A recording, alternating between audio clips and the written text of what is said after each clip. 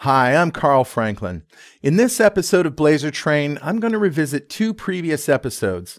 Episode 11, in which we learned how to build an API layer, and Episode 12, in which we learned how to use generics to create a repository interface for accessing data. We used that interface to make a generic data manager for use in our API controllers, and we also used it on the client to call into those APIs.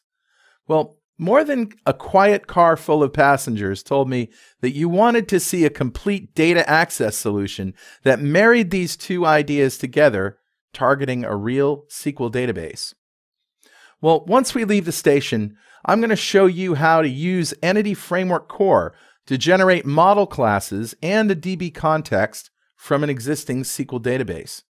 I'll give you two generic API response classes that you can reuse for any controller endpoint that returns an entity or a list of entities.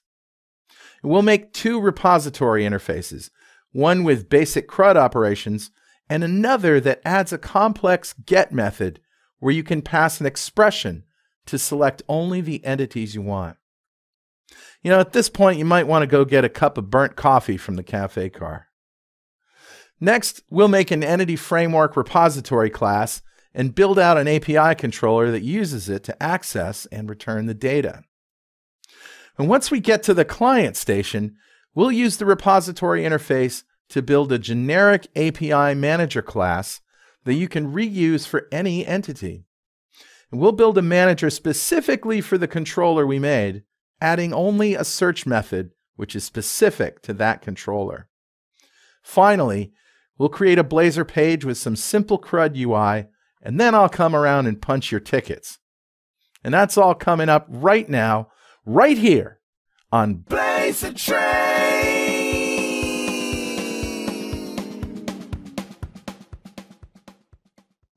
So, as promised, we're going to start with the database.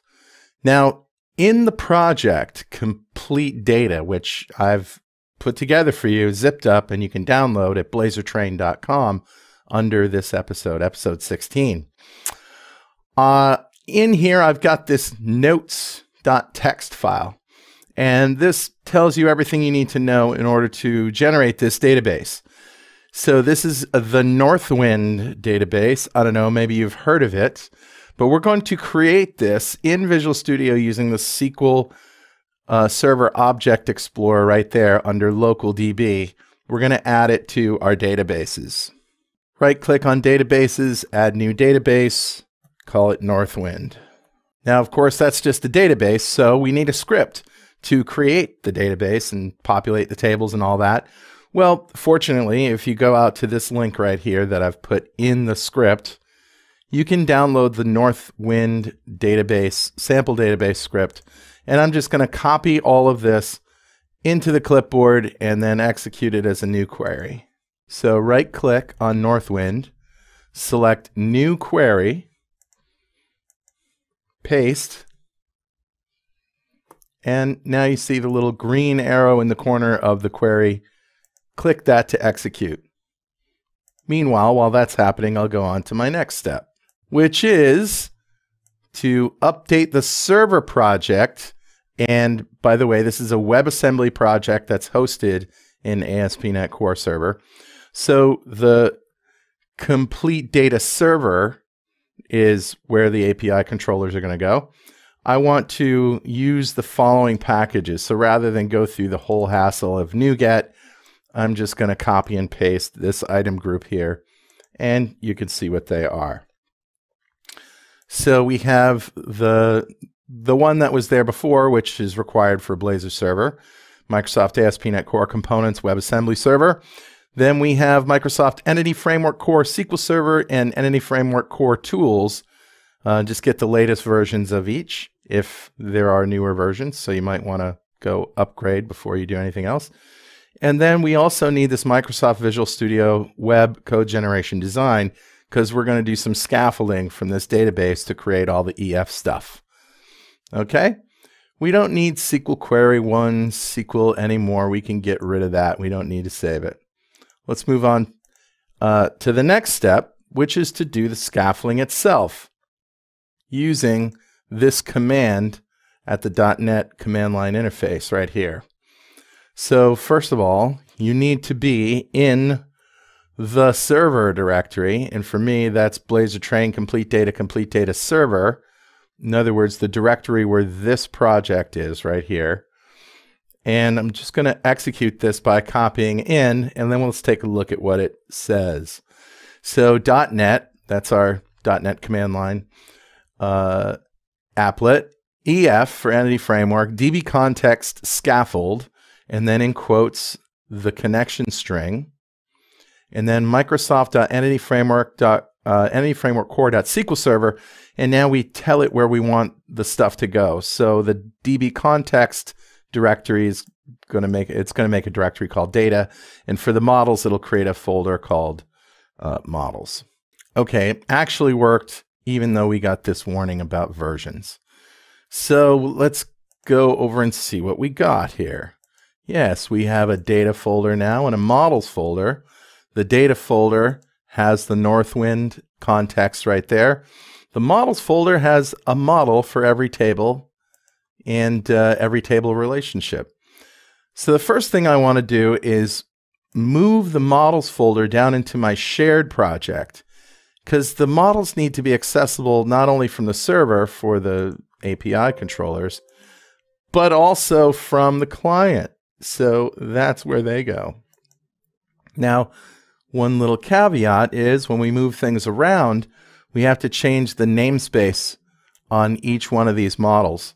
So I'm just going to press Control H to pull up a uh, search and replace. And you can see, well, maybe you can see, but we're going to change complete data server models to complete data shared models across the entire project. And I'll just say yes to that, and boom, those are all changed.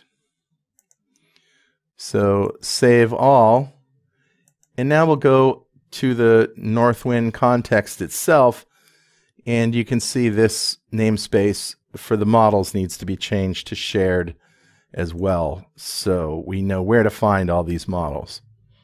Now, one thing I do want to mention, if you go down here, there's an on configuring override because we don't have our connection string in uh, a app settings.json file.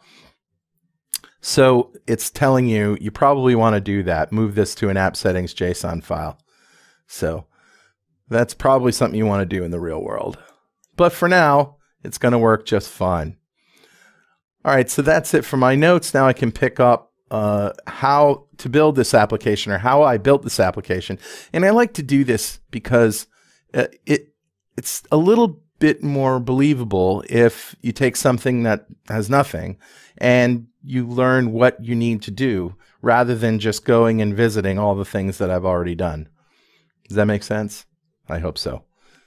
All right, so the next thing we're going to do is add to the models folder a couple of classes that I built for you that can be used generically for any entity to return entities from an API controller. Okay, so the first one is for a single entity, and the second one is for a list of those entities. And we're going to use generics. All right, so this one's going to be called API Entity Response. So rather than just returning a single entity, I want some more information around it. Did the operation succeed or not? And if it didn't succeed, I want a list of error messages. Usually there's only one error message, but if there's more, I want to know why. And then finally, the data itself is the entity. So we're passing in the entity, let's say it's customers, because actually we're going to create the data all around the customers table today. So we would pass in customers as the entity type. So that means we're going to return data is going to be a customer's record. So the next one we'll do is for a list. And this is API list of entity response. All right, again, using the generic T entity, now we're returning data as an IEnumerable of T entity. So a list of customers. All right. The cool thing about this is the generics. So you can reuse these endpoint types for any type of entity that you want. All right, now we need some interfaces for our repository. The repository is going to be an interface for CRUD operations. And we can use this repository to make a data manager for Entity Framework and also a manager for APIs on the client side. So iRepository, so take a look at this. So we have two deletes, one that takes the entity, one that takes the primary key as an object. Um, one thing you might be aware of here is if you have compound keys. In other words, if you've got a table that where the primary key is two foreign keys together, this isn't going to work. So I'm working on that. Get back to me later. So now we have one get all that takes uh, that returns in a list of those entities, and get by ID again takes the primary key, returns the entity, uh, and then another one for insert and another one for update. So basic CRUD stuff. Now we're going to build on that and add the ability to use an expression for a get. So rather than just get all or get one, I want to search. I want to say get where the first name includes this or the last name includes that or the postal code equals this. Whatever it is, you can specify an expression on the get. This will not be used at the API level because it's difficult to take that expression and package it up and send it to an API controller, but it is very useful uh, as a data manager. So we're going to call this one I repository generic get. So this is where the magic is. It's it takes a filter as an expression, like this is your where clause, and the properties that are in the where clause get in uh, get uh, passed in this string, and then your order by. So it's a way to use LINQ to pull out specific records from the database or from whatever uh, the repository is. All right, now we're going to use this guy to create in the server an entity framework repository. So this one's going to be called repository EF. Again, you can name these however you want. This is just for my demo. This is what I called it. So repository EF is a class, not an uh, interface, and this uh, builds on the iRepository generic get. It uses that interface, passing a data context as well as an entity. So we could create a customers repository, or we could create a orders repository, whatever it is. And now you can uh, see what's going on here. We get the data context in the constructor. And we've got our deletes, which uses the data context. And we have the generic get with the expression and the, the filter and, and all of that goodness right there. And this is the code that we were showing in uh, episode 12. Uh, Mateus was showing this with me, Mateus Carvalho. So this is a way to use that repository with the entity framework, right? And that's exactly what we're doing here. We can reuse this for any entity that we want. All right, next we're going to add some stuff to start up here in the services. We need to add the Northwind context, which is our DB context first. And then we have to add each repository as well. So we're only having we're only creating one here from customers. Now, notice this. Add transient. Well, I know about add scoped is one instance per user. Add singleton, which is one instance shared among all users. Why add transient? Well, the reason is we don't want the DB context sticking around in between calls. Okay, we want it to go away because if it does stick around, it is by default tracking all the entities that get uh, that go through it.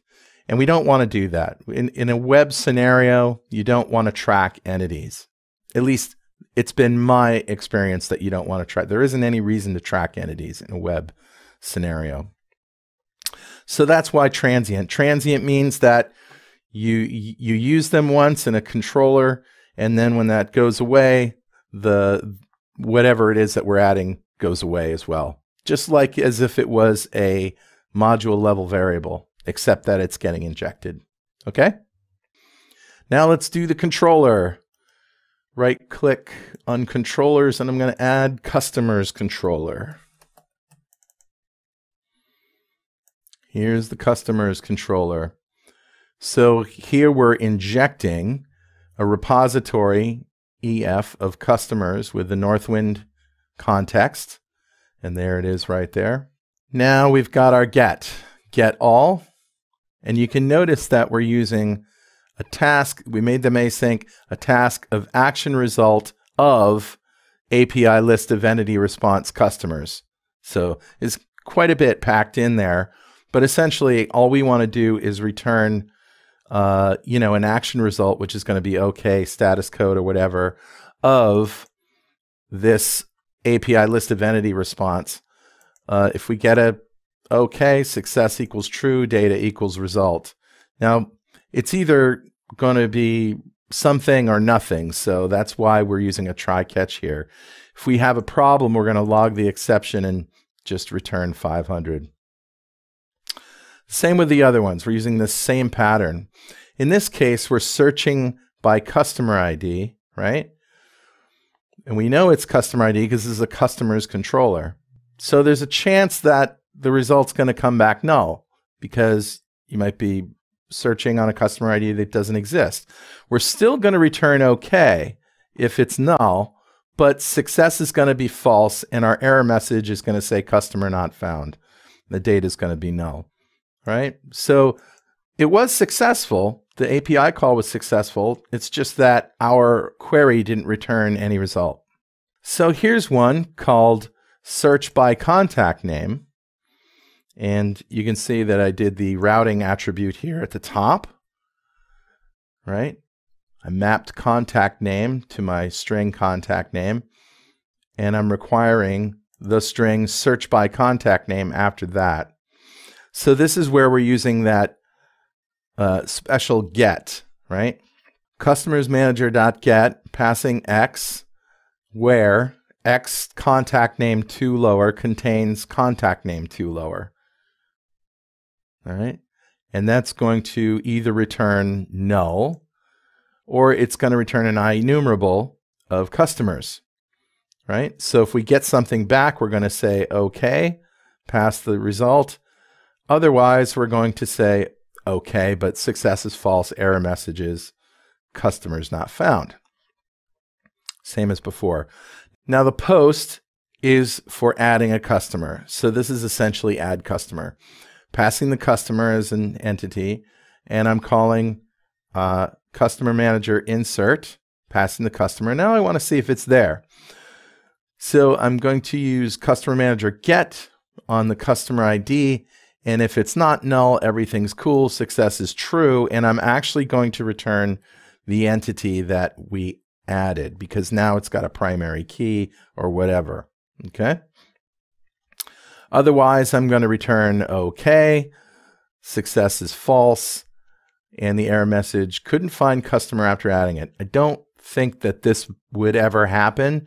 More, you're more likely to get an exception, but just in case, there you go. So the put is for updates. So this is updating a customer, and everything else is exactly the same. Returning the result if we get one, otherwise null. And here's our delete and by customer ID. So the first thing we're doing is getting the customer, making sure it's there, and of course that returns a list, right? So if the list is not null, then we're pulling the first one off of that. That's our customer, and we're going to delete it. And if it's successful, we're going to return OK. Another thing that we could return here is no content. It's up to you. No content is typically used for deletes, but OK is perfectly acceptable. So that is our controller using the manager to access the database with Entity Framework. All right, we've pulled into the client station. So at the client uh, or the app itself, I'm going to add a folder called services, and I'm going to add an API repository class. Now, this is a class that we can reuse for any entity. And this has got all the CRUD stuff on it. Oh, and it's also got an error because I'm using Newtonsoft JSON, and we have to add that package. So I'll install Newtonsoft JSON. Everybody be happy. Okay, so check this out. This is an API repository of entity, right? So we'll create one for customers, which uses iRepository of entity. All right. And I've also got a couple of things here. I've got a controller name and a primary key name. And we're going to need that in order to make this generic. You'll see. So when we create one of these, right, we're passing the HTTP client, the controller name, and the primary key name. Now check out get all. So this is a typical HTTP request to an API. So we're just calling the controller name. We're going to ensure a successful status code. In other words, if the code comes back with an error, anything but a 200, uh, it's going to throw an exception. So we're going to read the body from the response, read as string async, and then we're going to deserialize that as an API list of entity response of t entity. Remember? T entity generic. Okay, and if the response is successful, we'll return the data. Otherwise, I want to return a new list. And this is important, I think, at the API call layer because dealing with nulls in the UI is a real pain. So it's so much easier if it just comes back as an empty list, right? Then the user knows there's nothing there, everything's cool. But dealing with nulls is certainly a, an issue in the UI. So let's move down to get by ID. All right, now the URL is going to be the controller name plus the argument. The argument is an HTML encoded version of the ID as a string. Now, typically, primary keys are either strings or ints, right? A, a GUID is a string. So it's either a GUID or an int or a string you don't usually have complex types. So the rest of this is exactly the same as you would expect, except now we're using API entity response instead of API list of entity response. We're just returning a single entity. Um, all the rest of these are pretty much the same idea. Here we're inserting the controller name. We're posting as JSON, reading the result. We're updating. And don't you like how easy this is? Controller name right there. Now, when, when do we need this primary key name? Well, right here in the delete. Check this out. If I have an entity to delete, I'm going to have to pass the primary key.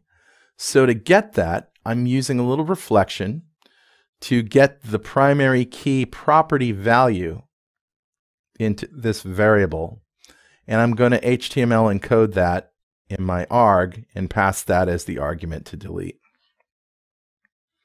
Tricky. And then, of course, if we're passing the actual uh, ID to delete, then we're just going to pass that up. Oh, and I noticed I didn't use my web utility HTML encode right there. Definitely want to do that. It just makes sense, folks. So there you go. There's our generic API repository. Now let's create a customer manager from that that adds the ability to search, but we won't have to reproduce all this CRUD stuff. So I'm going to go to services and I'm going to add a customer manager class.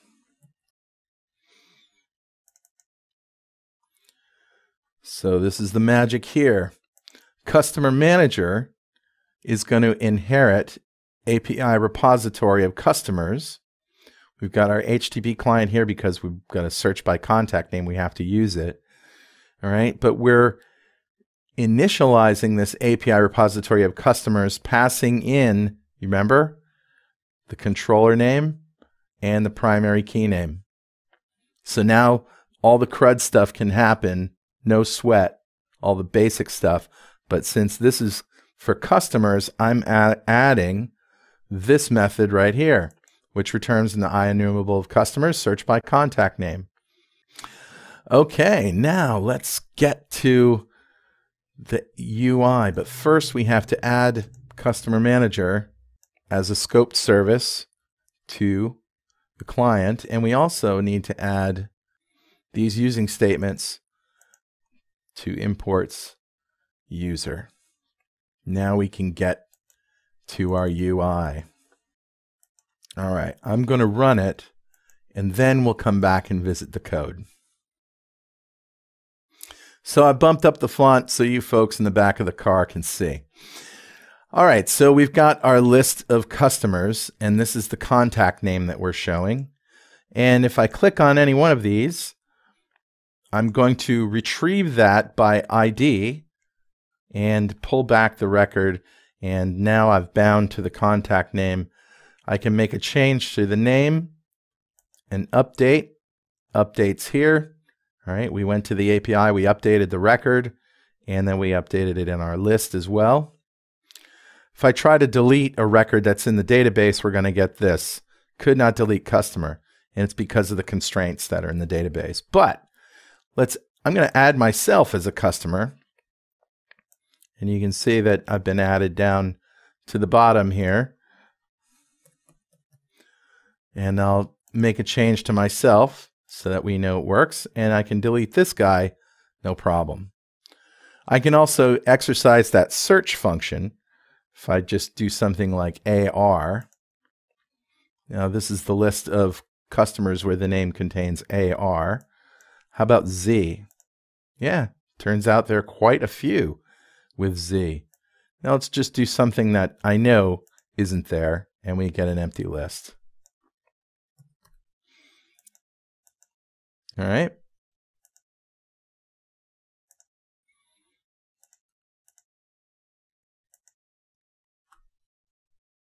Good stuff. All right, now let's take a look at what this UI does, starting with, you guessed it, on initialized async. So right when we create this page from the get-go, we're calling get all customers. What is get all customers? exactly what you think it is. I have a customer manager with a get all method. And that is, guess what? Injected. There it is, customer manager. Now, in terms of the variables that I have defined here, I've got customers, which is a list of customers. I've got customer, which is the selected customer. Search name, which I've bound my search text box to and an error message, which is something that I show if there's a problem. So let's go to the top here. If customers is not null, we're going to add this search by name input box. And on click, we're going to call search. I'll get to that in a second. Uh, then I have a get all customers button, show all. Woo! And now I have a, a function, can I add a customer? uh, and that's going to return a Boolean. Now, I do that because add customer is pretty much hard coded, right? I didn't want to do a whole form to fill out all the stuff for a customer. So I just add myself and some junky data. The customer ID is CFUSA, right? So if I tried to add the customer twice, the first time it's going to go through, the second time, it's not going to be able to add because there's already a record in the database with that primary key. So that's why I have this, can I add a customer? And it just does a little bit of LINQ to see if that customer exists in customers. And if it does, I'm returning false. All right, so next we have a select, which is our list box. And I'm just going through each customer. The value is the customer ID. What we show is the contact name. And when I click on one, I'm going to customer selected. So customer selected, it would be easy for me to pull it out of the local customers, but I want to exercise the API. So that's why I'm pulling it from the customer manager, get by ID. All right, so now customer is either going to be null or it's going to be something. Go back up here. So if the customer is not null, then I have the update button and an input bound to the contact name. right? And I have a delete button. So let's look at update customer. In update customer, I'm going to pull the customer out of my customers list and I'm going to get the index of it because this is an easy way for me to update it later. So then I update it with the customer manager and I get the updated version back here. And if it's not null, then I replace the customer's record in the customer's list with what I've updated. All right, search. So this happens when I click the search button. I'm going to come down in here and search by contact name with customer manager. If I get anything back, I'm going to return the list of customers. Otherwise, I'm going to uh, create a new list of customers and say that there's no matching customers. The only thing left maybe is the details of add customer. I create the customer and then I call insert. And if the result is not null, then I add that result to the customers and I set the customer, in other words, the selected customer to result. And that's it. Here's a complete solution from the repository pattern to the API to the controllers to entity framework with a generic data manager. Back to you in the studio, Carl. Hey, how about that, huh? Whoa. You know, I noticed that the quiet car isn't so quiet right now. Don't make me pull over. Hey, thanks for riding the rails with me today. This is where I jump off. I'll see you next time. Blaze a.